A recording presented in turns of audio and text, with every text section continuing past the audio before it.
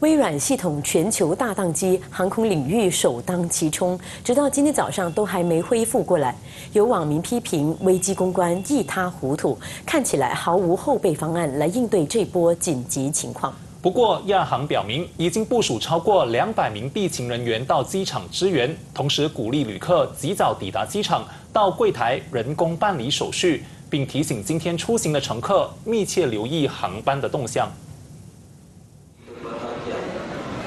科技巨破微软系统大宕机，影响航空公司的票务和自动登机系统，导致大批旅客滞留吉隆坡国际机场第二航厦，报到柜台更是大排长龙，混乱场面持续到今天早上都没有好转，机场大厅依然人头攒动。有网民在社交媒体上传视频发文指出，看见柜台工作人员沿着队伍向乘客解释当前情况。但网友感到惊讶的是，机场和航空公司似乎没有动员更多人力传播资讯，也没有听见任何广播通知，更没有善用电子广告板。网民坦言，这起堪称科技史上最严重宕机事故非常罕见，但现场的危机公关处理得非常糟糕。看起来没有任何后备或快速的应对方案。接近早上十点，网友揭露长长的人龙排队两个小时。起初大家还能心平气和、耐心等待，但最终还是忍不住鼓噪起来。